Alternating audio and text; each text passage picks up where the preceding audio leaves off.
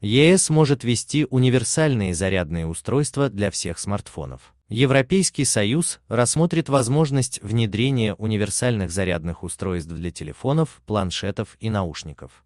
Еврокомиссия представит соответствующий законопроект в четверг.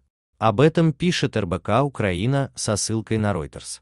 В четверг Еврокомиссия может представить законопроект, согласно которому предлагается, чтобы производители гаджетов устанавливали на все свои устройства одно гнездо для зарядки. Введение универсального зарядного Устройство будет удобнее для пользователей и полезнее для экологии. Отмечается, что принятие проекта может негативно повлиять на компанию Apple, которая сегодня устанавливает на своих гаджетах разъем Lightning, в то время как большинство других компаний-гигантов почти полностью перешли на USB-C.